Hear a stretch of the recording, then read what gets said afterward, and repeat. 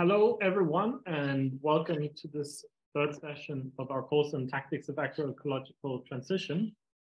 Um, today, we'll talk about the question of land. And just to situate what we'll be discussing today in relation to the whole course, I think we, we could say that there are four immediate needs for agroecological transition, which is knowledge, knowledge sharing, uh, it's access to labor and the process of actually producing things differently.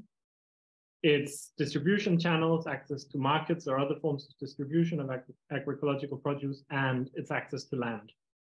So this whole course is, is, is a way of trying to common lang put language in com uh, knowledge in common um, and last week we spoke about the question of labor, the question also around justice and the fight of exploitation against exploitation in, in agriculture. Um, and next week we'll we'll speak about this the question of producing other forms, other economies, other distribution channels. Today we'll speak about the question of land.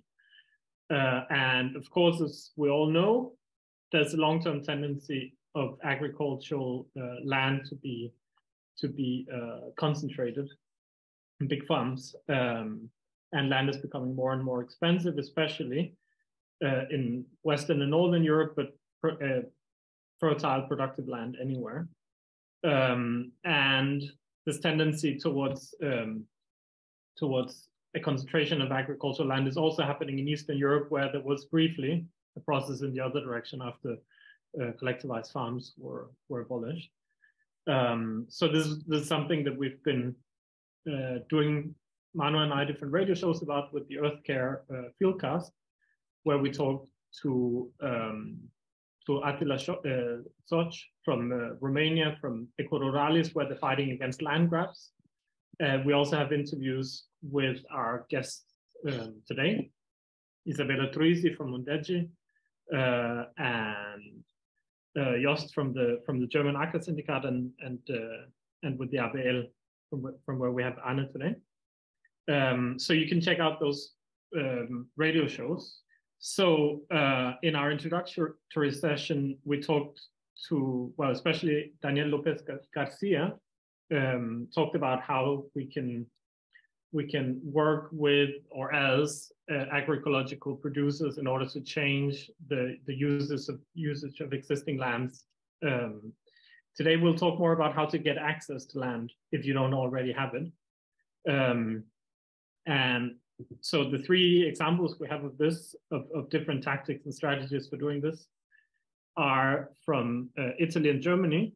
Um, first, we'll have Isabella Truisi from Mondeggi Bene Comune or Mondeggi Commons, uh, talk to us about this experience outside of Florence in Italy, where for almost 10 years uh, there's been a big agricultural estate occupied, um, and where they're now working to transform this occupation into something that they call um, civic land use, which is recognized by the municipality owns the land. We'll also talk to or hear from Jost from the German Ackersyndikat, which is developing a, a model for cooperative uh, land ac acquisition. And finally, we have Anne, and also in the in later in the breakout room we have Anastasia, also from from the ABL, which is the German part of La Via Campesina. We're campaigning for what they call Gemeinwohlverpachtung, which we could translate as uh, common good leasage of public lands. Um, so we were also hoping, and we have this in the program, that uh, Nadine from, from our team would talk about the, the big socialization conference in Germany last year that she was part of organizing, which is a part of a big movement in Germany that talks about expropriation of land, socialization of land. Uh, but sadly, Nadine is sick, but this is something we can have in the back of our minds that that's actually becoming a big discourse in Germany now.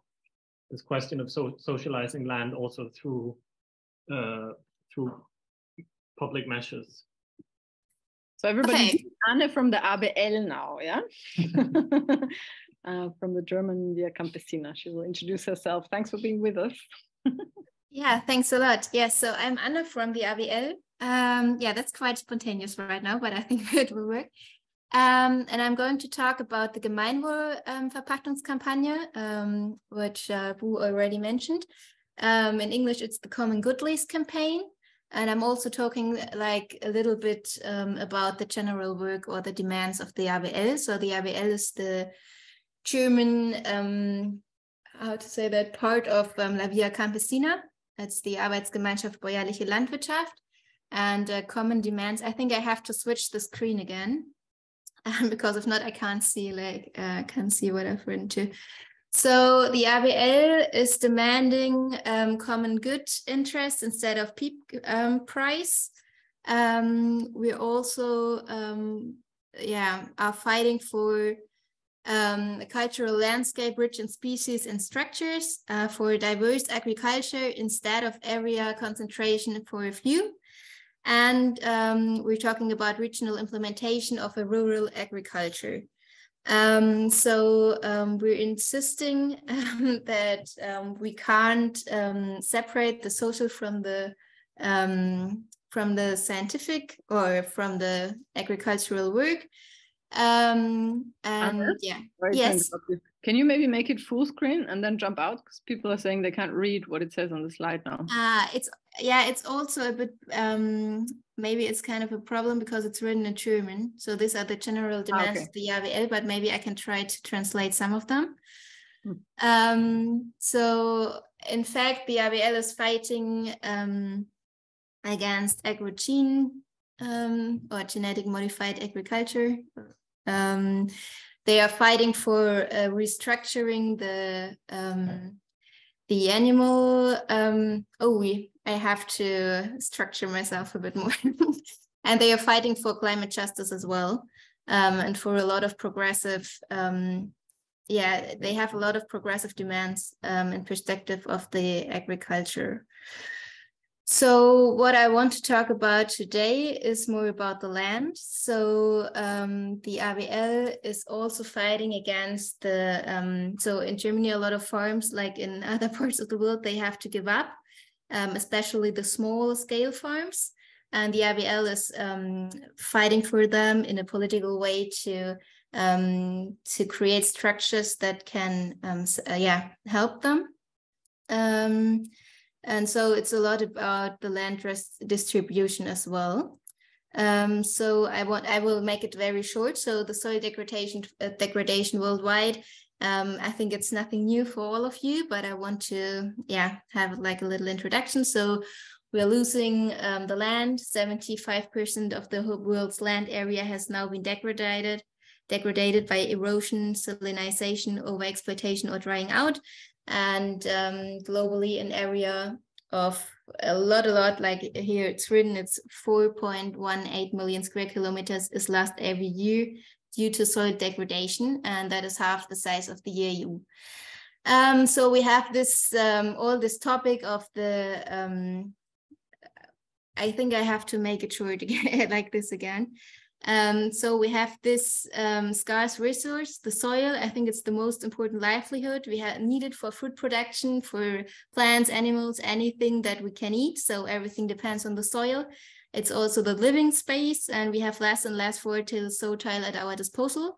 So um, the sealing and soil degradation because of erosion, we have less fertile soils because of the farming methods of the past century, the less land grabbing that is um, a big topic um, everywhere in the world, as well in Germany, especially in the East. Um, we have these non-agricultural investors and the access to land, for example, for people who want to become farmers is very difficult. Um, so all of this is like um, part of the problem and um, the ABL is trying to um, fight it and they started the Common Good Lease campaign um, so here you can see some people um, from the east of Germany who started um, the campaign. Um, and it's about, um, so they created like guidelines for the politics. So it's about the leasing topic because we often have um, the situation that the land isn't leased to the people who are who are yeah working the land in a um, in a sustainable way or in a social sustainable or ecological sustainable way, but it's about the peak price. So it's very, um, yeah, it's not a fair distribution of the land. Um, so the ABL created these um, guidelines for um, for the municipalities. So it's about the municipal administration, so that they have guidelines to decide who got land and who doesn't.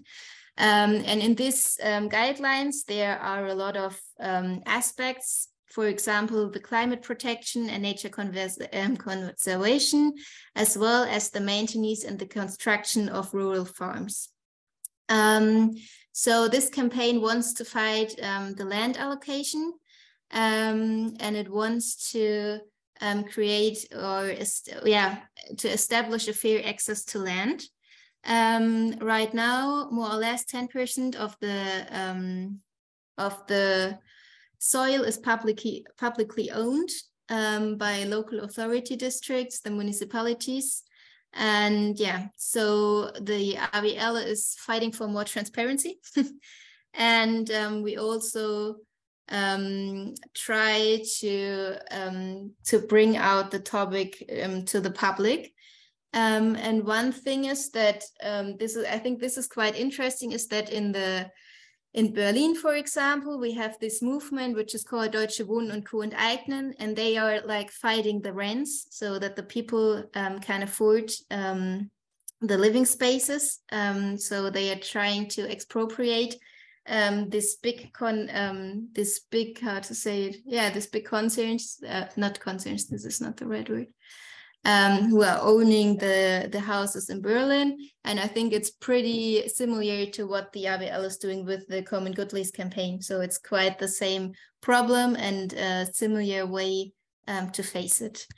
Um, so yeah, I think um, I also brought a short video of the Common Good Lease campaign, but it's also in German, so I'm not sure if I um, should show it or if it's not so interesting.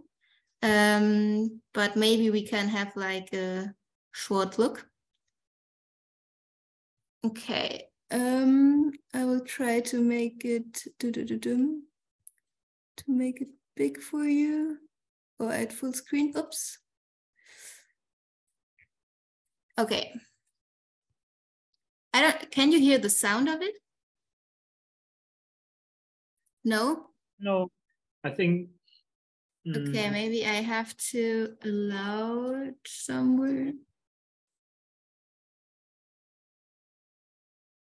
Playing videos in over Zoom often requires quite specific. Um... But I can post mm -hmm. to the video into the chat if you want, and then people can open it on their browser for watching. Okay, so we can do it like this. okay.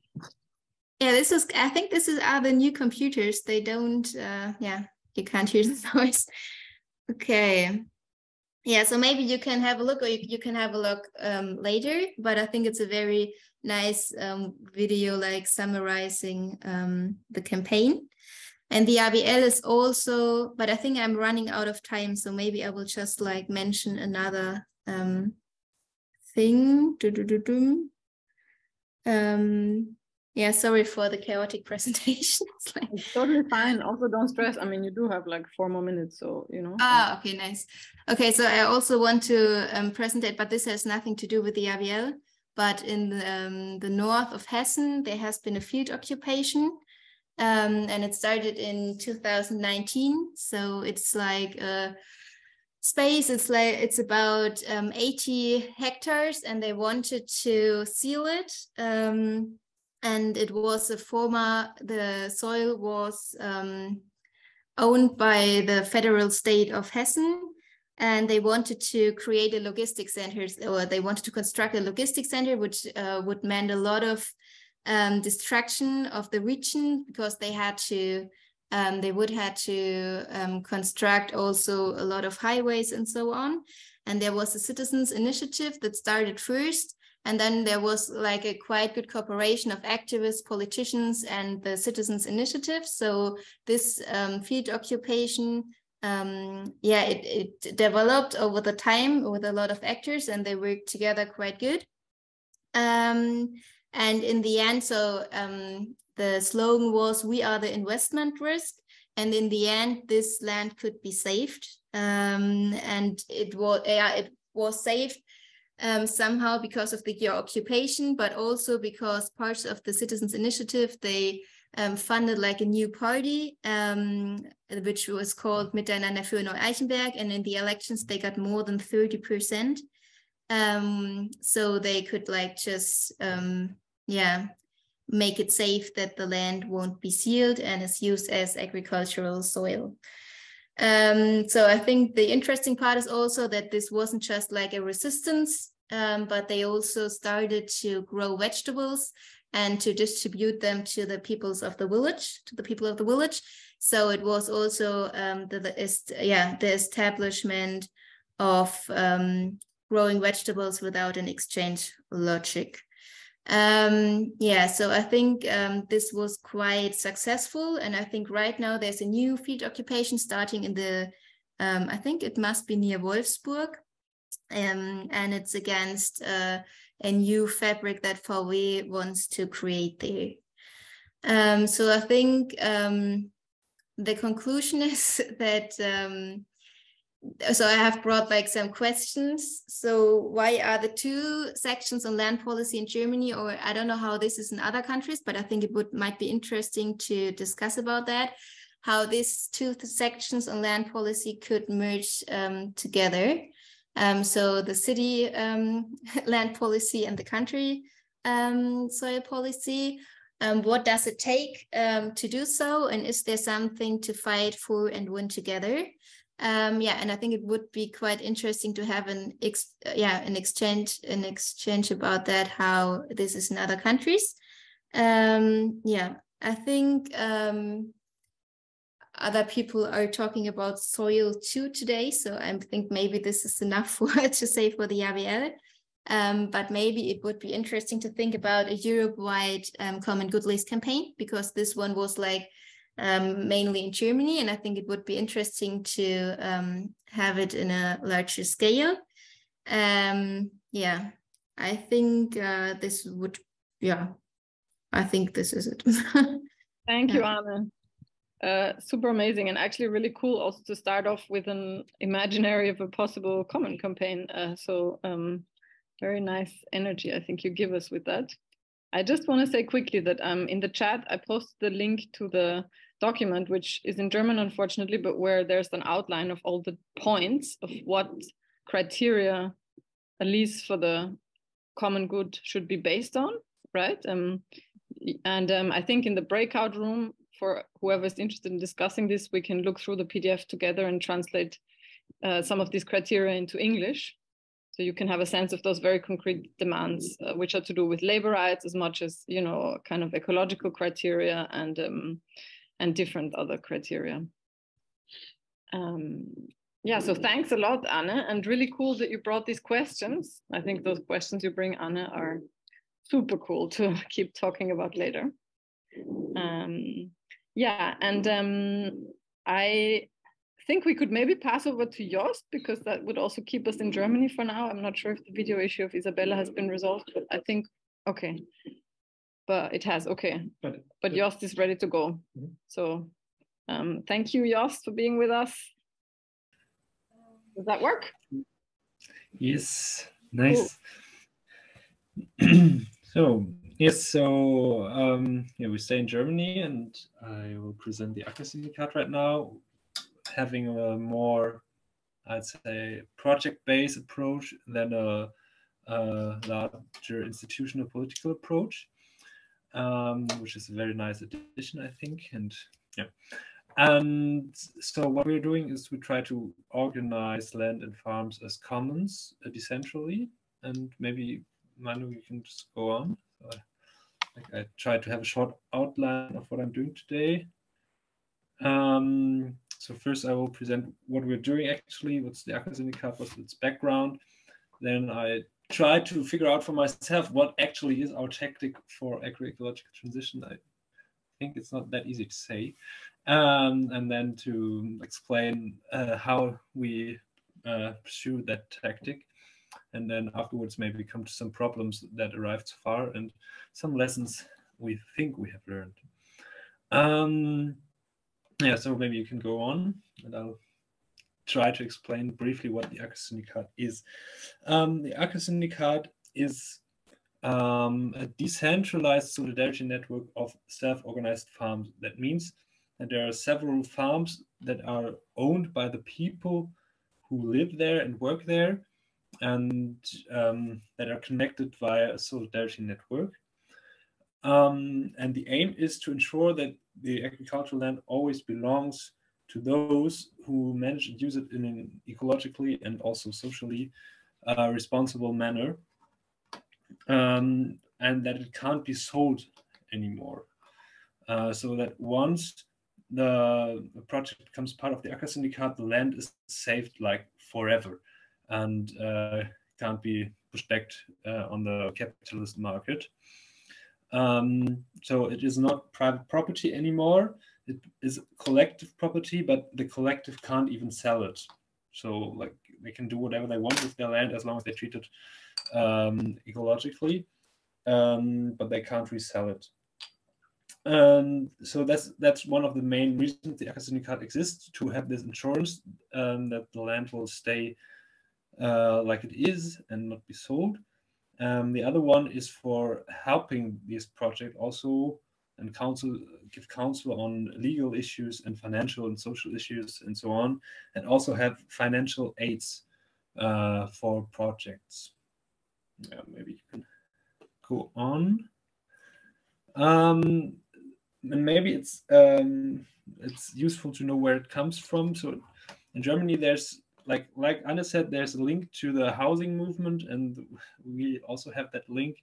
Uh, the, the Syndikat derives from the Mietshäuser Syndikat, um, which has more than 200 projects so far, I think, uh, founded in the late 80s um, which is similar to the Acker-Syndikat, but just for housing projects and like very old so far. So like 30 years, 200 projects, very experienced with. And so there, the houses are bought and can't be uh, sold anymore. And it's working very, very good so far. And uh, also from the community supported agriculture movement. So the idea, in fact, was like, okay, we have this very well functioning Mietshäuser Syndikat uh, this housing syndicate in Germany, and then we have like um, community supported agriculture. So how can we try to bring it together to have some solution for uh, a decentral uh, land ownership construction so that the land land can't be sold anymore and the projects are like together in solidarity. So we founded this uh, Acker-Syndikat uh, three years ago, and last year we have since last year we have our first project and there's some more in the process and um, yeah we think we'll grow uh, a lot in the next years. There's a large interest so far which is very well uh, nice and yeah let's see how it works but so we are still in the beginning um, we've worked a lot on like legal structures financial structures like a lot of background work and now it's we're getting really into the work with uh, talking to a lot of projects and trying to get more into the the concrete stuff. Yeah, maybe you can go on, Manu. Uh, just maybe for understanding how we do what we're doing is let's look again back at the Mietshäuser Syndikat because we like copied a lot from them, and like them is also us. Like I'm also part of the Mietshäuser Syndikat and other people in the Syndikat too. Um, so they're like every house has an own association, and these houses are members in the head association of the Mietshäuser Syndikat. And this um, association then owns another um, limited liability, um, their construction, and this then this GmbH is called in Germany, this limited, then possesses a part of every project. So, and that there would be a need for consensus of all the projects um, to resell one project, which will never happen because all the projects are there to ensure that no project will be sold. So, like, um, that's the main idea how it works, and it worked super well so far. Like it's a bit complicated legal stuff here, but yeah, that's one of our problems. Um, yeah, maybe we can go on.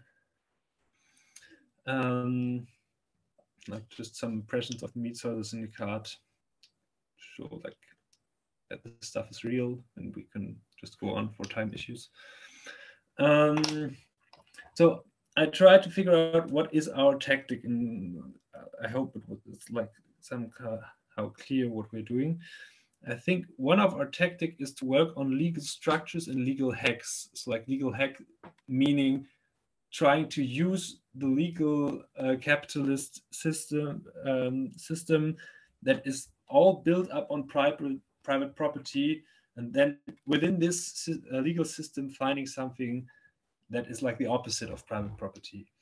Um, that is the hack we're trying to do, and it's not easy to transfer to other countries because the legal a lot about uh, laws and so on, and they're different uh, in every country. So like some main ideas can be transferred. For example, from the Mietshäuser Syndikat, there has been uh, it has been copied in several other countries and adapted to the local uh, needs, and it works quite well so far.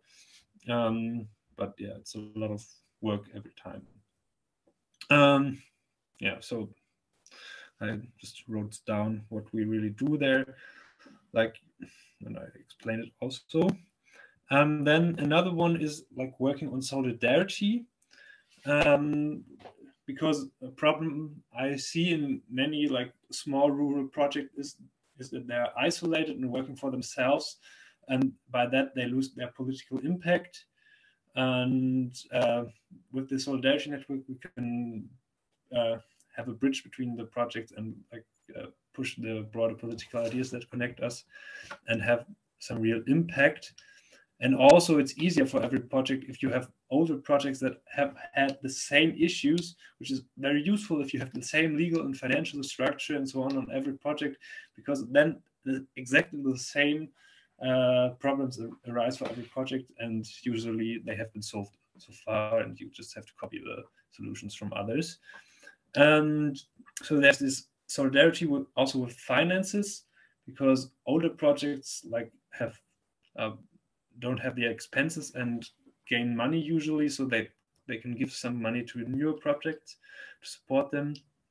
But the solidarity transfers also from the new projects to the old projects because the old projects have the pro problem that at some point they get stuck um, like they don't have the initial drive anymore like hey we're doing some cool crazy project here we're changing the world and everything they just got established and they're doing their stuff and they don't really know what for anymore and so on and there these new, pro- new projects bring in some ideas and enthusiasm uh, which is very enriching and yeah that's one of the basic ideas. And then what is really important, like the decentral work, there's no centralized land ownership. There are a lot of cooperatives in Germany and also in other uh, countries. For example, in France or in uh, Austria, there are other organizations pursuing similar means, but also always with a central structure. And for, in our point of view, like more from an anarchist perspective, it's not good to have this centralized. I have some more theoretical thoughts about that in the presentation or another presentation, I think, but it's too de detailed here. But like we think that it's important not to centralize uh, land ownership because then there's a lot, lot of concentration of power, uh, and we don't want that. Yeah. So maybe we can go on. Um, I don't know how how much time do I have left? Maybe a two three minutes. Does that work? Or is that? Yeah. Okay. Yeah. I, will try. okay. Um, so here's I, I think it's interesting to have a closer look on this financial solidarity transfer we're doing. So this here is from the Mietshäuser Syndikat, but it will be like it is the same in the Acker Syndikat, um, but they have the material. Um, so on the left side, you see side you see how the economy of a normal house functions. Like you have the initial costs, and then they go down, and then you make the profit. And in the syndicate model, like you have the same cost and so on, but you don't make the profit.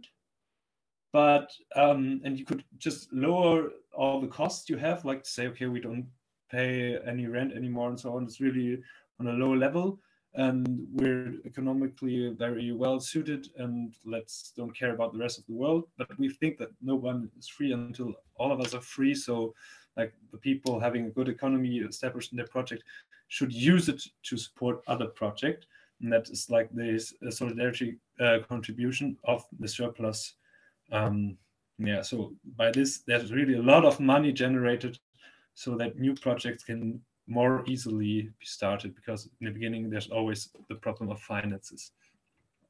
Yeah.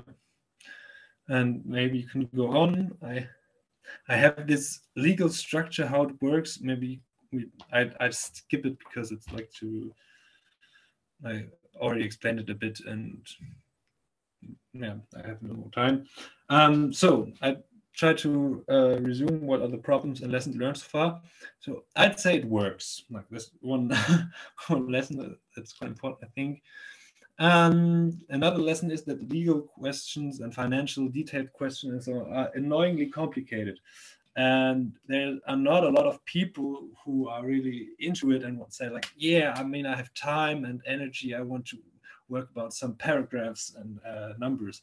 So um, like it's not that easy to uh, have a good team of motivated people around this and yeah that's one uh, problem and also going around with this is that like you need a lot of specialized knowledge. So if you want to get into the project and want to support the Syndikat, like you have to get around like one or two years until you fully understand what's going on um, and to and then to counsel projects and so on. So that's uh, a lot of time needed and the time investment like from people and also problems of hierarchy. I mean people are knowing things other people don't know the things and it's yeah that's a big problem not a big problem but it's like a subject we have to work about.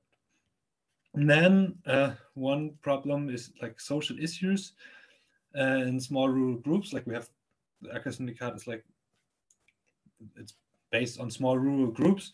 And um, like if there's one social conflict and the group breaks apart then like it can ruin the project. And um, we think that we really have to focus more on uh, social issues um, yeah that's something we learned also from Mietshäuser because there are some uh, rural projects uh, with not so many people uh, like are just like destroyed today and that's a big problem and the Syndikat will be almost only these projects. So it's a big problem we have to face so far.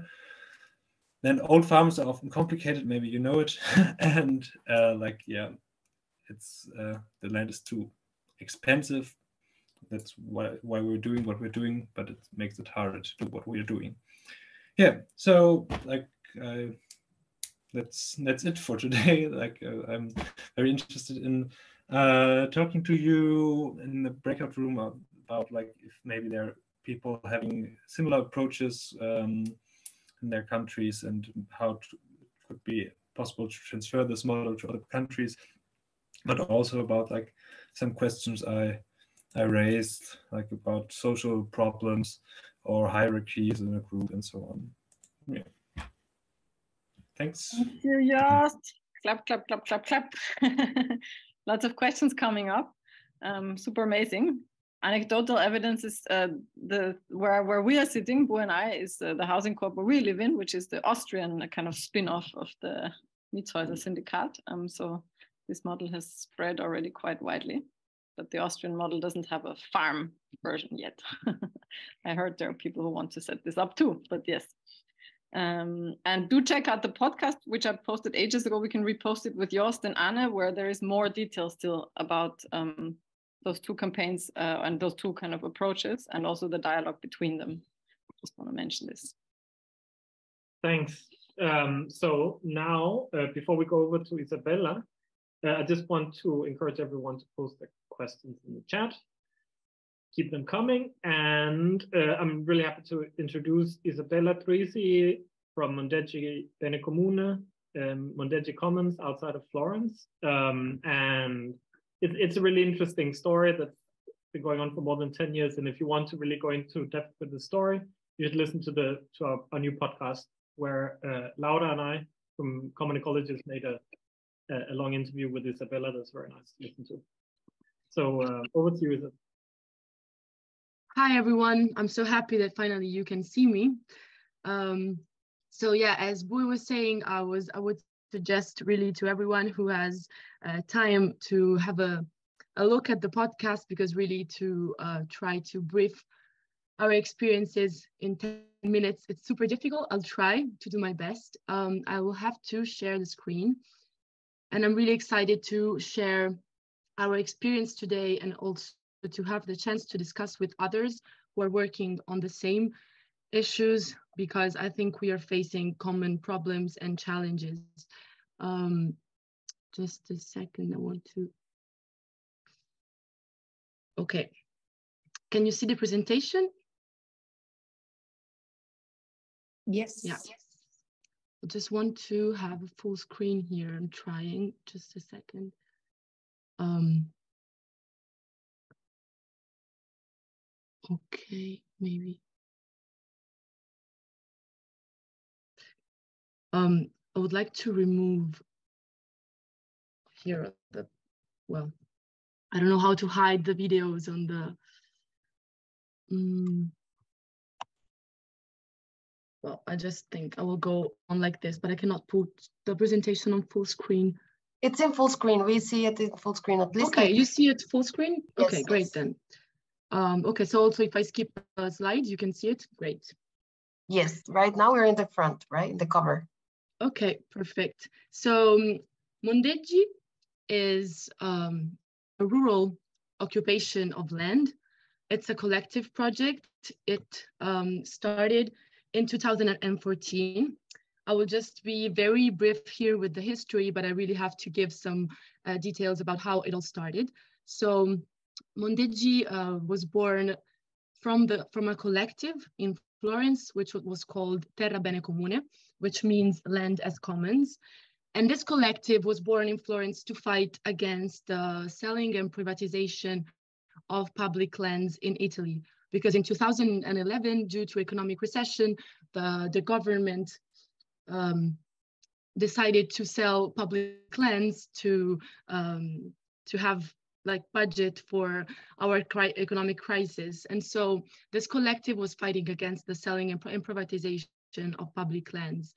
And in Florence, there was this very huge farm, which was abandoned uh, since five or six years.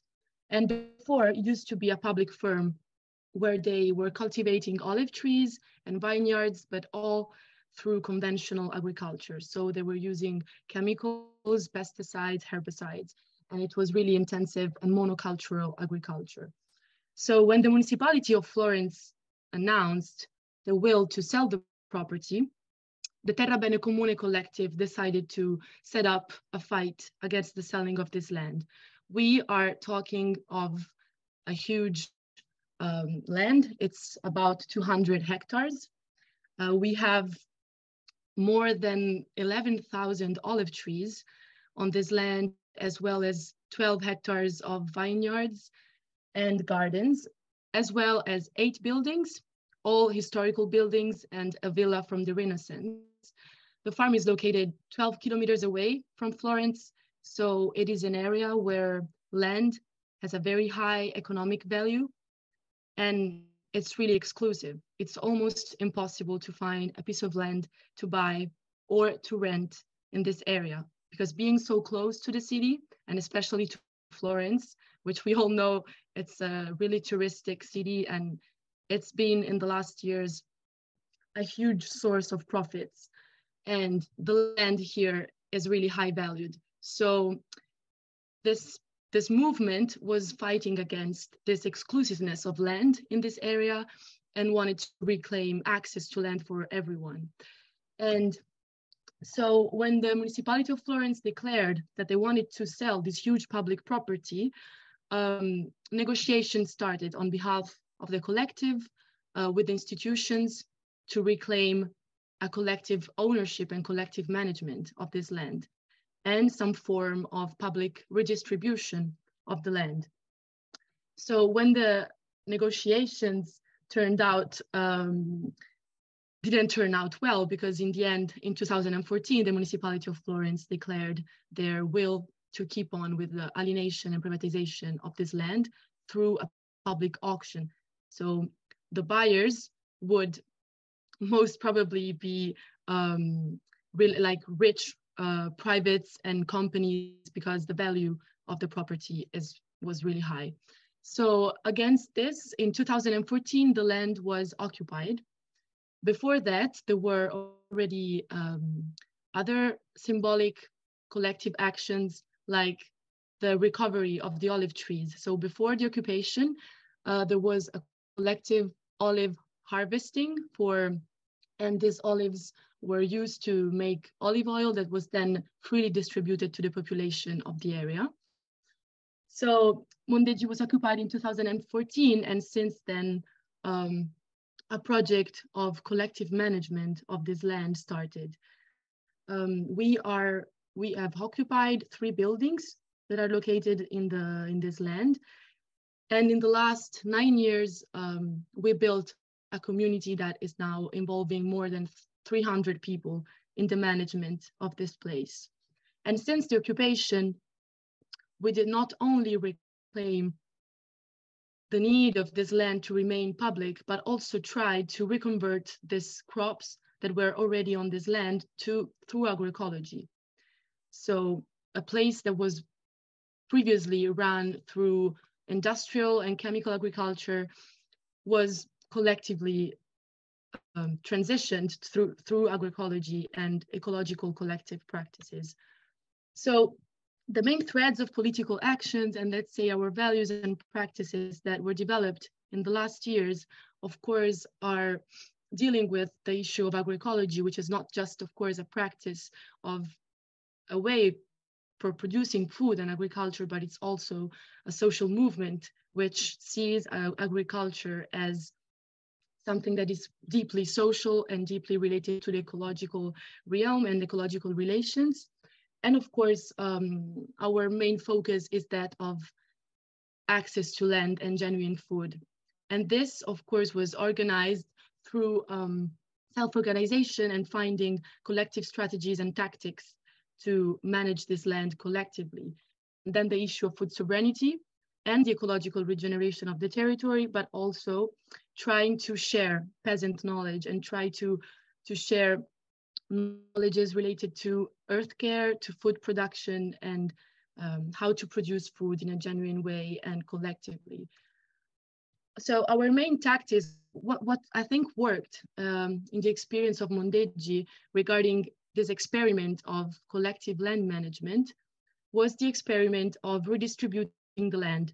So there are there is a group of people in Mondeggi who are the inhabitants, so 20, 25 people more or less, including me who live in the houses uh, that are located in the place. And then the rest of the, of the community is taking care of the land through re redistribution. So all the olive trees, vineyards, and the land, also gardens where people can grow their vegetables, were redistributed to people of the territory who could make a request coming through to the assembly for taking care of a parcel of olive trees.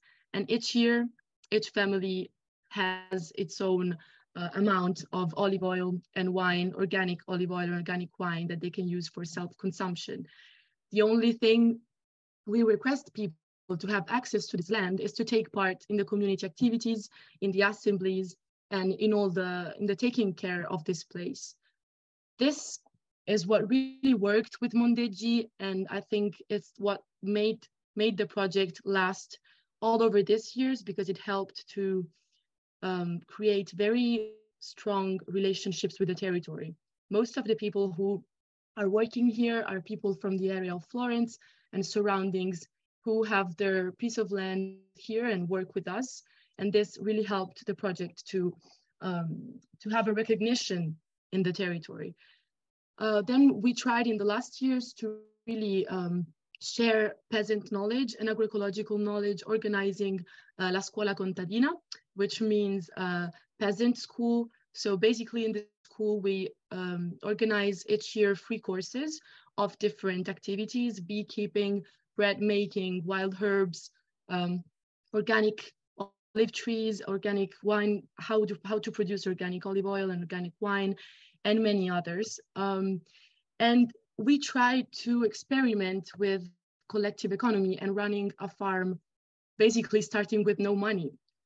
It's a collective project that started with nothing and we tried to set up a farm.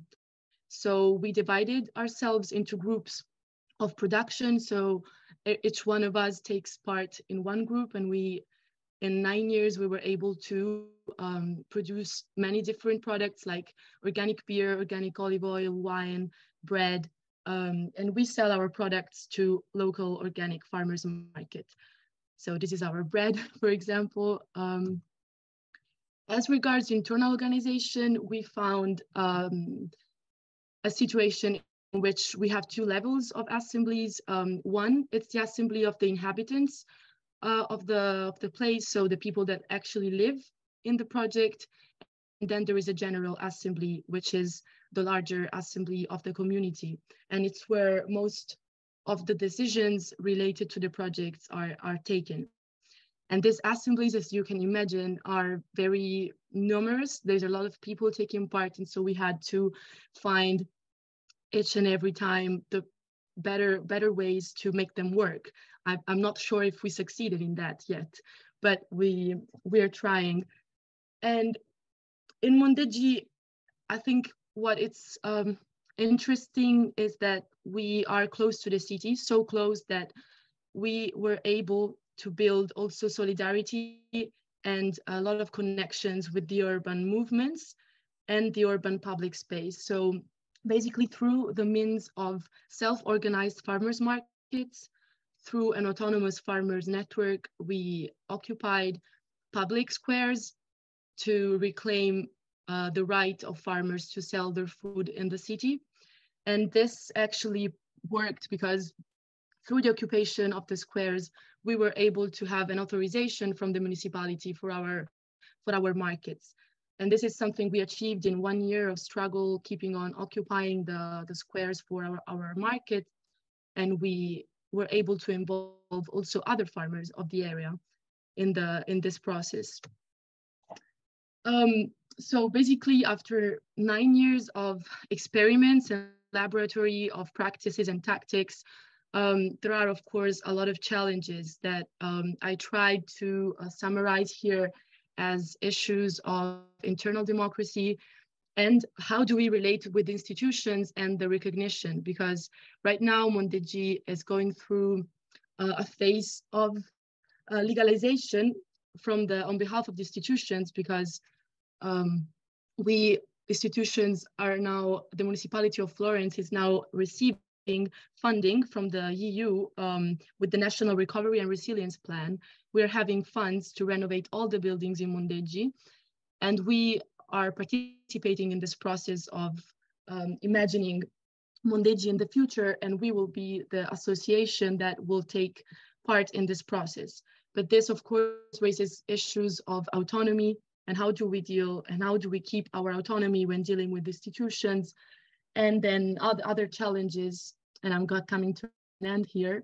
Um, it's the contrast sometimes between individual and collective well-being in a community that is so complex and where it's so difficult to manage how to um, how to balance individual life in the community and collective work and collective activities, power relations within the group, um, and then how can we create autonomous livelihoods in a capitalist economy which still um, which still obliges us to have certain specific um, needs in terms of money. So we were able to build an internal self-sufficient economy, but we're not able to guarantee our livelihoods, for example. And so I would really like also to focus on this aspect. How can we balance this? So I really hope I gave, gave a clear idea of the project and I thank you for your attention. Thank you, Isabella really beautiful.